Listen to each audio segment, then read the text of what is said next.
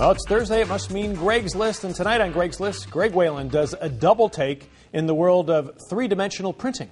It may sound like science fiction, printing machines that can replicate whole objects, but Greg tells us it's very real. Well, now, let's say that you're a mechanic on a job and you realize you forgot your wrench. So you go down the street and you have them print you a copy. And you probably think, uh, print you a copy. Useless, right? No, I'm talking about going down and having them print you another wrench. Impossible? Nope, nope, not at all. That's the sort of stuff that's happening at a company just outside Boston. Something's gotta give.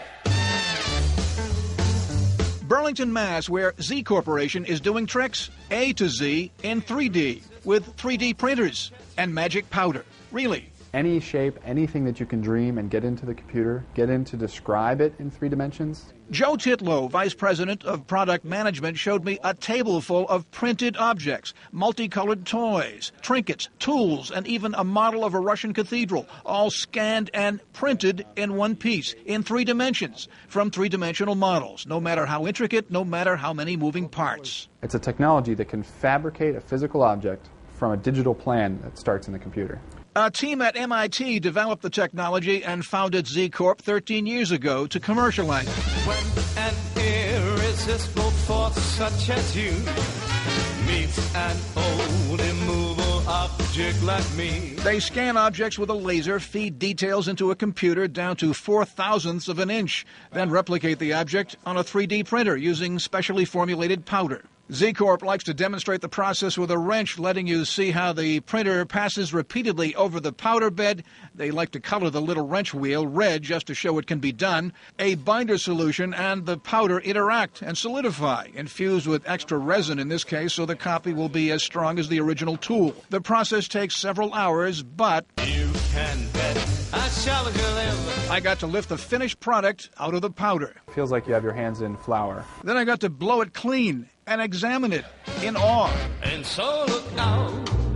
Cause who knows what the fates have in store? This will be great for astronauts who don't want to carry a toolbox into space. It's already great for a design engineer with a big idea. The same day that he has the idea, he can now make it happen uh, in the computer and print it out and hold it in his hand.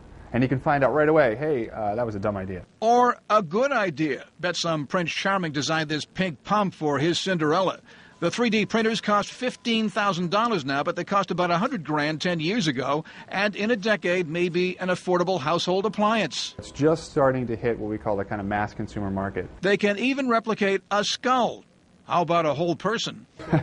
You know, you, we laugh, but there's uh, university research going on right now to print three dimensional print of human organs. How about a brain for old Yorick here?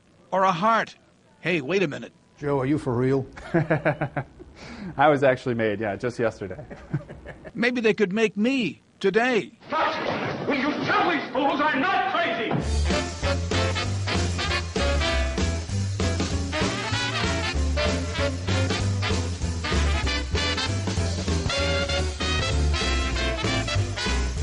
that was a dumb idea. You're telling me, but 3D printing? What a great idea. Don't say no because they insist. Somewhere, sometime. Some's gotta give.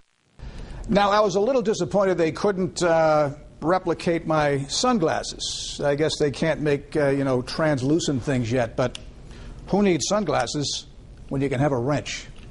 And that's what's topping my list this week. Greg, that was wonderful. And I have another copy of the wrench right here. And you